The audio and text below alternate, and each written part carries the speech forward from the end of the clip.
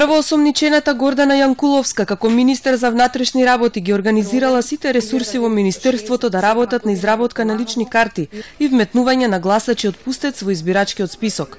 Главни помагачи советници се Милеја Накиевски и секретарот на владата Кирил Божиновски.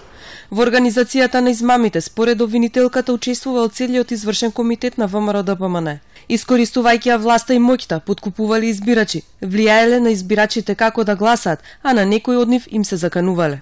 Се работи за целосна криминализација на изборниот процес со незаконско издавање на лични карти и вметнување во избирачкиот список на лица кои по ниту еден основ не смеат да бидат во тој список. Имено, некои лица се фотографирани во еден град, лична карта добиле во друг град, односно во општина Центар, се разбира и во избирачкиот список се таму и гласаат.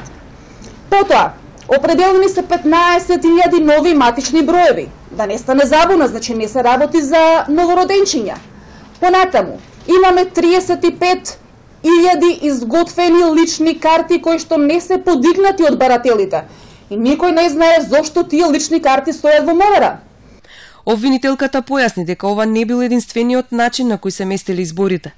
Доказите на обвинителите говорат за насилства, злоупотреба на јавни фондови, незаконско финансирање кампања, злоупотреба на медиуми.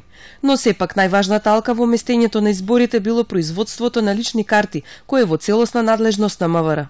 Системот на МВР почнал да работи во обратна насока.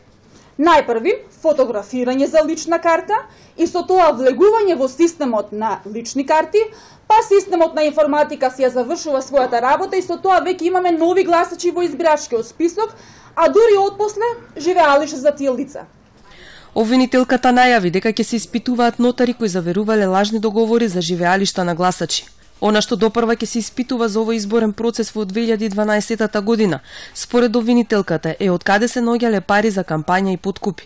Таја најави дека сознанијата на обвинителите се дека партијата на власт се финансирала преку незаконити и непријавени извори.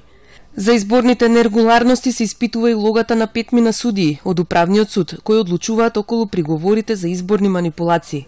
Со детална истрага се офатени членови на изборната комисија во Чаир, кои преправале податоци на резултати од избори.